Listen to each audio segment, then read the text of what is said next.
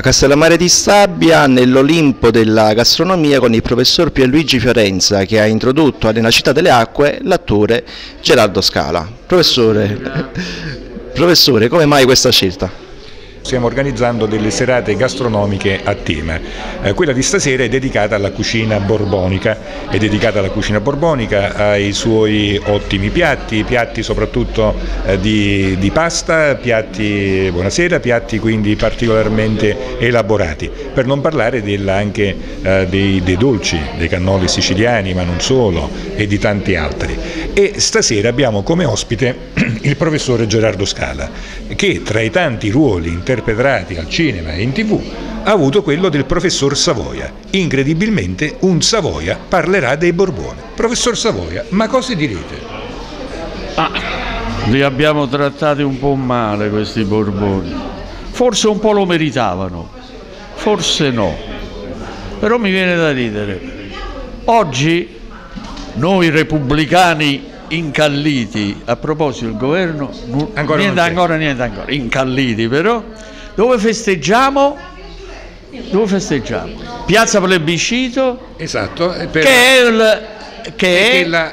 è, un'istituzione borbonica, era stata fu, crea... fu creata dai Borboni dopo la l'uscita dei francesi da Napoli. Esattamente, che per... poi diventa plebiscito nel momento in cui Beh, poi... i Savoia vincono i Savoia, vincono il referendum eh, dopo eh, come vogliamo chiamare? Ma la spedizione parlo... dei mille ah, quindi quello lì, non l'ultimo perché l'ultimo non c'è stata nemmeno la proclamazione no, no, no, quello della Repubblica stiamo parlando del 2 giugno Ragazzi, ma stiamo parlando no, stiamo parlando siamo tornati indietro siamo al 1861 ah, siamo ecco, ottobre ecco. 1861 eh, ma siamo più o meno I noi anche quindi hanno detto eh, che i Savoia hanno stravinto a Napoli contro i Borboni non era ma vero penso che sia vero. un dato truccato eh, beh, beh, sì, sì, sì.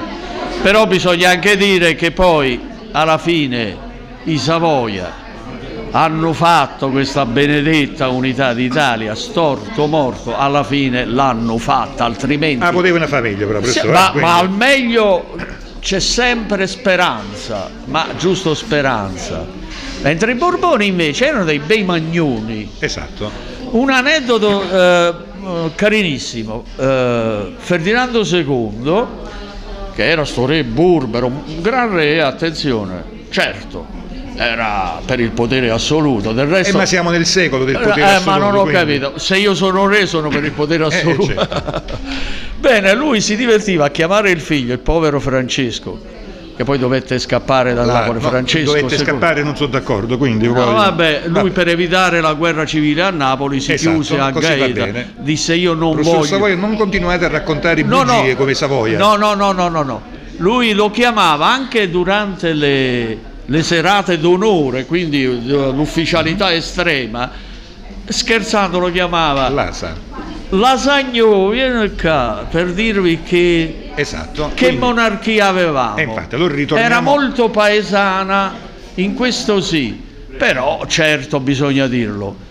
E allora ritorniamo non era, non era, non era, ah, non era di quelle illuminate. Allora ritorniamo un attimo alla serata, la serata borbonica con le pietanze borboniche. In realtà non è che stiamo facendo un revival della storia e quindi ci schieriamo a favore di uno o vogliamo no, no, condannare un altro. Noi siamo comunque esattamente felici di essere italiani, però avremmo voluto che la nostra nazione eh, fosse nata in un modo diverso, quindi senza il sangue di noi eh, meridionali. Federale, federale. Mm, insomma va bene, poi no, sono opinioni. No, va ha bene, paura insomma... di dirlo, eh, ma la federazione sarebbe bellissima. Così tutti ad eleggere il presidente quindi alla Gioberti o alla Cattaneo tu sei? Eh sì, perfetto, bene, comunque perfetto. insomma ognuno... Beh, pensa se lo facevamo già allora, oggi staremo più tranquilli, eh, sono sicuro. Potrebbe essere, potrebbe essere. E continueremo ancora con altre serate. La prossima sarà dedicata alla cucina di Totò, avremo la nipote Elena De Curtis che verrà qui il 20 aprile, poi abbiamo la serata russa. Come state col russo, professor Savoia? Col russo, uh, russo chi?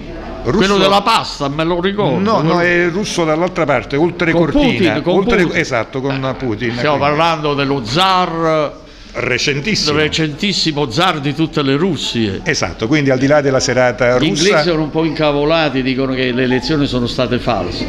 C'è Vabbè, un po' di ogni, verità. Ogni mondo però, paese. Però però è super seguito, bisogna dirlo, I- lì, lì, lì. Vero, vero. Lunghissimo. No, volevo dire una cosa a proposito della cucina borbonica, al posto dei cannoli siciliane avrei preferito la sfogliatella, però quella antica, i- i- la Santa Rosa, Sì, però- quella, quella originale. Esatto.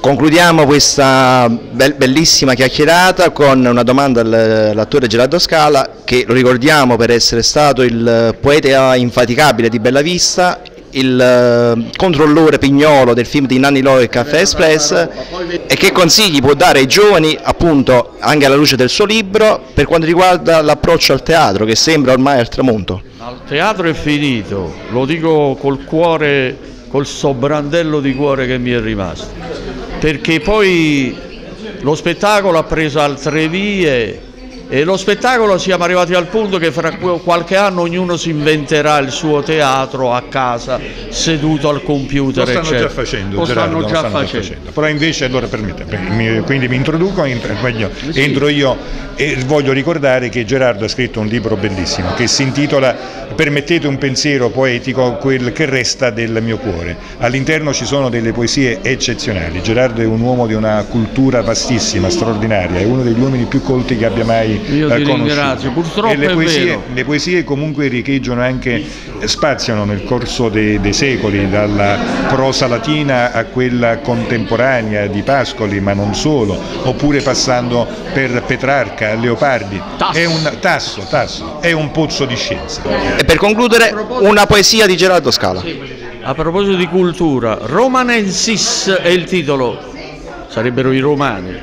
Questa è un po' ambientata nell'antica Roma, ma non tanto. Attenzione, a Roma amavo le lumina fioche delle caupone, sarebbero i ristoranti, quelle splendenti dei fori dove non c'erano titoli se non quelli di Priapo le puelle infiammate, pronte a donarti il cuore, seguite equivocando da nepoti dei senatori.